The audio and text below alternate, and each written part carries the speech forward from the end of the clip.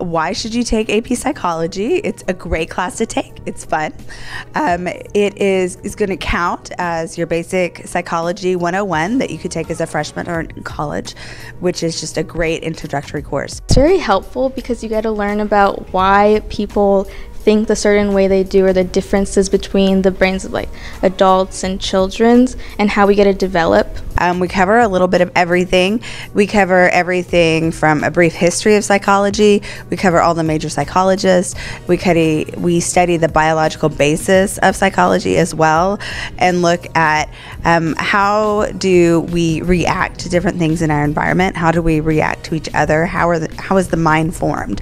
So as we study all of these different things throughout the semester, we kind of build on that knowledge, and it's great because you can take these things that you're learning in psychology and AP Psych and apply them to different fields. So you can apply them to AP Chemistry, to AP Bio. It's a really interesting class if you want to know more about um, the the brain and um, like how people work.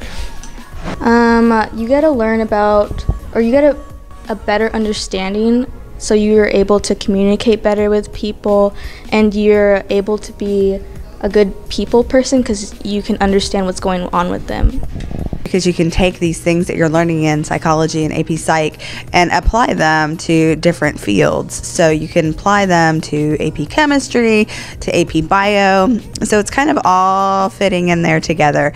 And it's just it's just a great little class to take. Um, if you haven't had an AP class before, this is also seen sometimes as a good intro to AP class. Um, it's like I said, it counts as a one semester, so it's not a full year. Um, but it is an AP class, so you do need to expect to be reading and you do need to expect to study.